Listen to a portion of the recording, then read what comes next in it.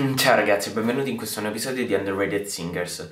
Prima di iniziare però volevo chiedervi scusa se la qualità del vlog dello scorso vlog non è stata al massimo verso la fine del video, ma purtroppo sto avendo un po' di difficoltà a trasferire i video dal cellulare al computer, ma penso che a breve risolverò tutto. E detto questo possiamo iniziare. Il cantante di oggi si chiama Liu. Ho scoperto Liu sempre su Spotify, c'è una playlist che si chiama Discover Weekly, vi consiglio di andarla a vedere perché mettono tanti di questi cantanti cantanti emergenti o comunque cantanti che magari non avete mai sentito prima e quindi vi consiglio di darci un'occhiata se avete Spotify. E proprio in questa playlist tempo fa ho, sentito questo cantante che si chiamava Liu e la prima canzone che ho ascoltato si chiamava Baby Steps. Ricordo che me ne sono subito innamorato non so cos'era di quella canzone che mi piaceva così tanto ma eh, ricordo che l'ho ascoltata per tutta l'estate e ancora adesso mi fa impazzire. È una di quelle canzoni che non ti stanca. Allora com'è questo artista? Al primo impatto sull'aspetto non sembra niente di speciale. Se guardiamo magari come si veste o sul suo stile, sembra un ragazzo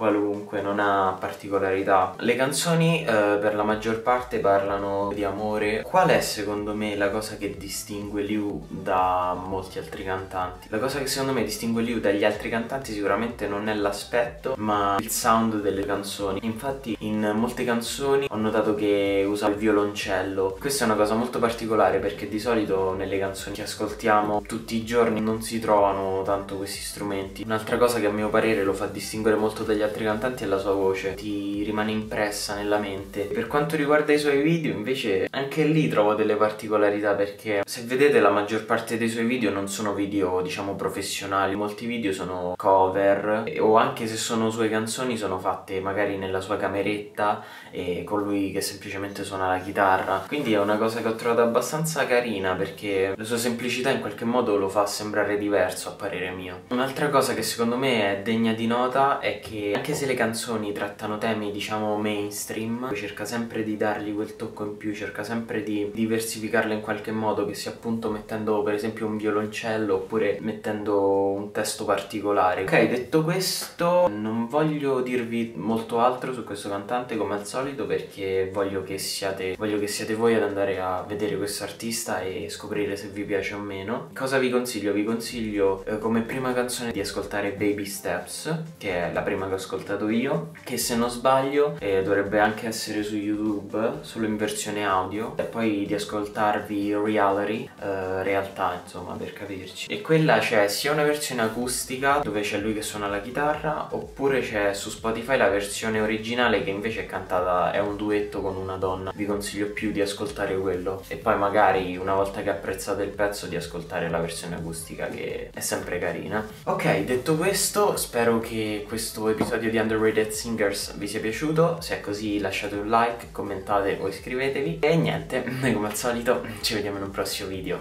ciao ragazzi!